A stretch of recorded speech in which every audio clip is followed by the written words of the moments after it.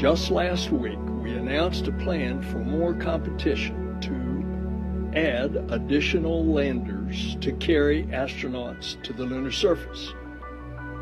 We expect to land about once a year for more than a decade. We're going to put a, an outpost or something like a station in lunar orbit. It's going to be in a polar orbit of the moon. And we're going to call it Gateway.